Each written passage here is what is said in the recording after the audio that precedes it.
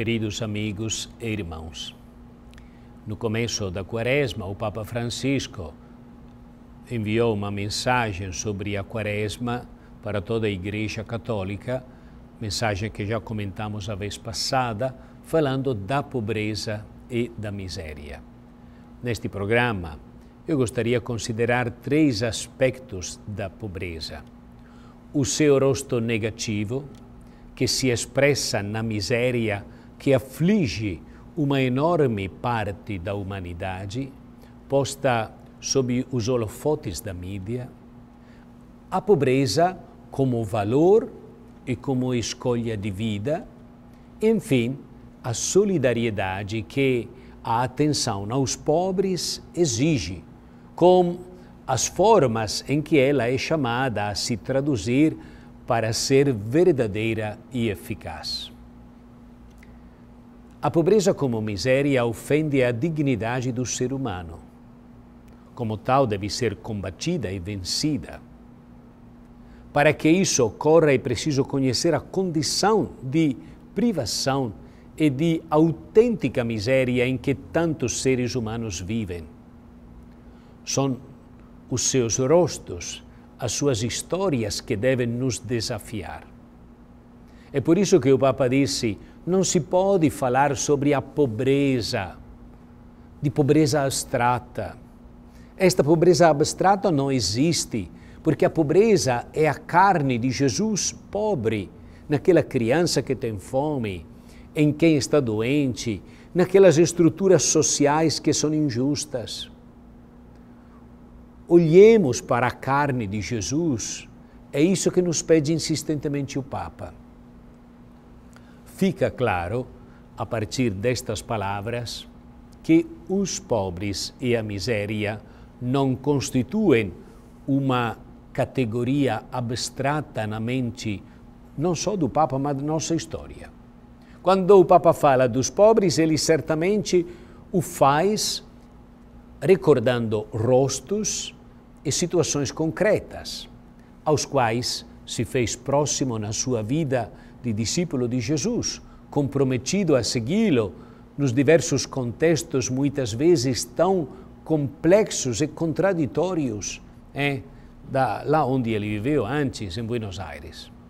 Por isso, nas suas palavras, nós sentimos a força daquela carne de Jesus, que ele aprendeu a reconhecer e amar nos pobres.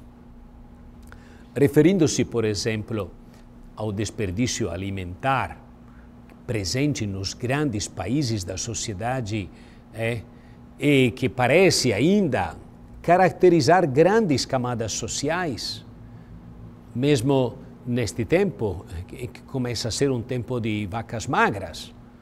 O Papa não hesitou em dizer que a comida jogada fora é um furto feito aos pobres. Enquanto a sociedade do bem-estar parece declinar sob os golpes da crise e das mentiras que a geraram, começando pela ilusão de que economia virtual das finanças e economia real da produção fossem a mesma coisa, o Papa, de coração grande, dá voz a quem não tem voz e lembra a todos nós muitas vezes distraídos por estarmos concentrados somente nas nossas medidas, o vasto mundo de quem não tem nada ou tem muito pouco para sobreviver. Só esse convite simples e concreto a tornar a miséria dos últimos uma prova decisiva para verificar a verdade dos nossos valores e das metas às quais tendemos me parece ser um extraordinário aguilhão para a mudança dos estilos de vida e das atitudes do coração. Juntamente assim, o Papa nos ajuda a descobrir a pobreza como valor. Ele fez isso com palavras tocantes, falando de improviso a, a tantas crianças e jovens não deixem que o espírito do bem-estar lhes roube a esperança. o espírito que no fim leva você a se tornar um nada na vida. E sempre o Papa dizia: o jovem deve apostar nos altos ideais. Esse é o conselho. Mas a esperança, onde eu a encontro? E ele respondia: na carne de Jesus sofredor e na verdadeira pobreza. Há uma ligação entre as duas. É como se dissesse: onde está o seu tesouro, ali está o seu coração. Se você coloca sua fé em Cristo e orienta ele as suas escolhas de vida, então você não poderá perseguir o dinheiro como valor ao qual se deve finalizar todas as coisas. Então você entenderá que há um tesouro muito maior do que uma conta bancária. E este é o dom de si mesmo vivido pelos outros e a partilha do que você tem com aqueles que não têm nada. Daí vem um estilo feito de esperança e de caridade vivida, de sobriedade de costumes e de alegria de dar.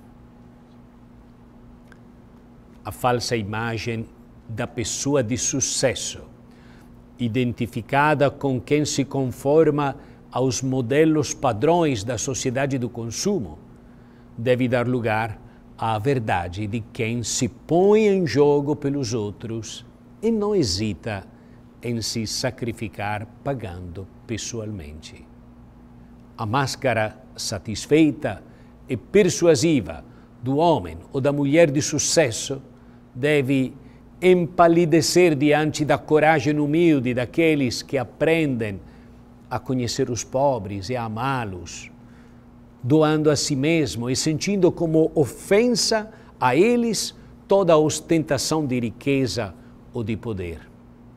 Não se trata, em suma, de parecer pobre, mas sim de sê-lo nas escolhas profundas do coração para dar o primado ao verdadeiro tesouro, a caridade recebida de Deus e vivida pelos outros. Há, enfim, o rosto ativo dessa pobreza escolhida por amor. A solidariedade para com aqueles que são fracos e o compromisso a serviço da justiça para todos. Aqui também não se trata de perseguir sonhos, eh, ideias, que deixam as coisas como estão. Ou pior, agravam-nas com a violência típica de quem quer mudar o mundo para conformá-lo à sua própria cabeça. A pobreza nos chama a semear esperança, para que eu também tenha mais esperança. Isso não se pode falar de pobreza sem ter a experiência com os pobres. Querer fazer algo verdadeiro pelos outros e fazê-lo. Este é o desafio concreto da solidariedade. De grandes palavras e de promessas. O século XX eh, já foi pródigo. Meus irmãos, Quaresma é hora dos fatos.